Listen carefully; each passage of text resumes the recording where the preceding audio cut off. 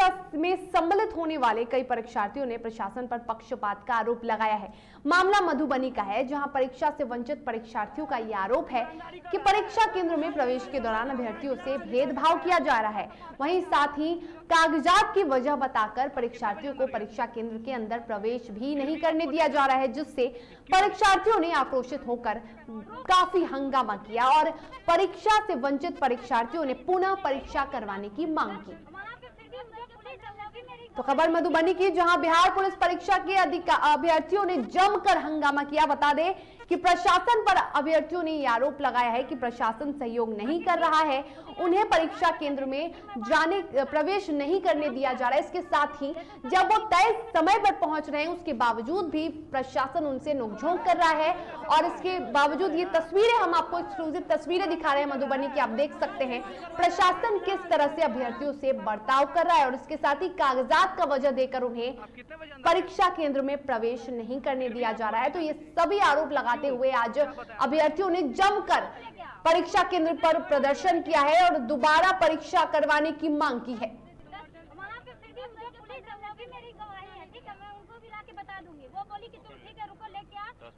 तो खबर मधुबनी से है जहाँ बिहार पुलिस परीक्षा का परीक्षा देने आए परीक्षार्थियों ने आज जमकर हंगामा किया और परीक्षा केंद्र पर जमकर प्रदर्शन किया।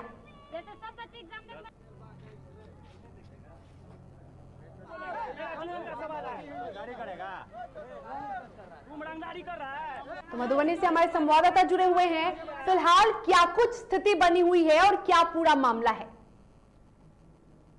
हेलो? जी फ़िलहाल मधुबनी परीक्षा केंद्र में अभ्यर्थियों ने क्यों हंगामा किया और फ़िलहाल क्या कुछ स्थिति बनी हुई है? अच्छा यहाँ बिहार पुलिस परीक्षा होनी होनी थी। आज कई प्रत्याशी ये परीक्षा में शामिल होने के लिए सवेरे ही आ गए थे। कुछ कुछ गाड़ी होता यातायात की वजह से या कुछ, जाम की वजह से कुछ लड़कियों पाँच से उसमें डिलेट हुआ। जी। पाँच मिनट करे। अब उन लोगों का कहना था कि नहीं इसे हम नहीं जाने देंगे एग्ज़ाम इतनी वजह से होगा। माल महज कोई कितने ने तो कहा कि दो मिनट का अंतर था मात्र दो मिनट का। कई बच्चों बच्चों से मेरी बात भी हुई।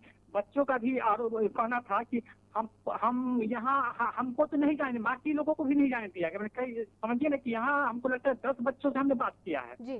दस बच्चों का आरोप था कि किन अधीक्षक को हम कई बार प्रार्थना किए सर हमको जाने दीजिए महज दो मिनट हुआ है दो मिनट हुआ है। उसके बावजूद नहीं जान दिया कितने तो आरोप लगाया है कि अपने द्वारा मन के कुछ लोग ऐसे थे जिसको जाने दिया गया लेकिन हम लोगों को नहीं जाने दिया गया। हमने दस बच्चों से बात किया है इसमें। जबकि इस संबंध में हम किन अधीक्षक से भी बात करना चाहा लेकिन वो लोग कुछ किसी तरह जवाब देने से हटते रहे कोई तरह जवाब नहीं दिए। तो फ़िलहाल परीक्षा प्रशासन पर सहयोग नहीं करने का परीक्षार्थी आरोप लगा रहे हैं और पुनः परीक्षा करवाने की मांग कर रहे हैं। मेरी मेरी कई कई परीक्षार्थी से बात भी हुई है मैंने कई छात्रा भी थी वहाँ सभी से बात हुई, उन लोगों ने बताया कि नहीं, हम लोग टाइम पे पहुँचे थे, सिर्फ़ दो मिनट हुआ था, उसकी वजह से हम लोग को अंतर नहीं दिया गया। और आरोप था कि प्रशासन को सहयोग नहीं कर रहा है। तो होता है कि आर्मी परीक्षा में हमने देखा है डेट भी होती है तो उसको क्या दिया था क्योंकि कभी होता है कि यातायात है सड़कों से जाम भी रहती है। मधुबनी में उसकी छोटी सड़कें है कई जगह जाम भी पाई जाती है। उस कारण भी लोगों को आने में दिक्कत होती है। वैसा कुछ हो सकता था अगर चाहते तो ये बच्चे से शामिल हो सकते थे। जी।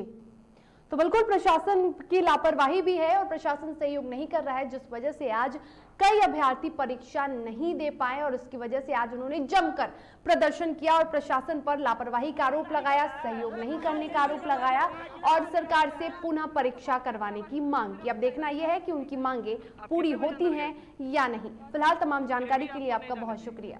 क्यों? क्या बताया अंदर अधिकारी? और अब खबर कटिहार से है, जहाँ कटिहार के बारसोई अनुमंडल के आबादपुर थाना क्षेत्र से एक वीडियो तेज़ी से वायरल हो रहा है। इस वायरल वीडियो में गाँव के ही एक युवक और युवती को खूंटे से बांधकर उनकी जमकर पिटाई की जा रही है। बताया जा रहा है कि ग्रामीणों ने दोनों को आपत्तिजनक हालात में पकड़ा था। इसके बाद ग्रामीणों ने पंचायत लगाकर दोनों को तुगलकी सजा दी। आपको बता दें कि डी भारत इस वायरल की पुष्टि नहीं करता है।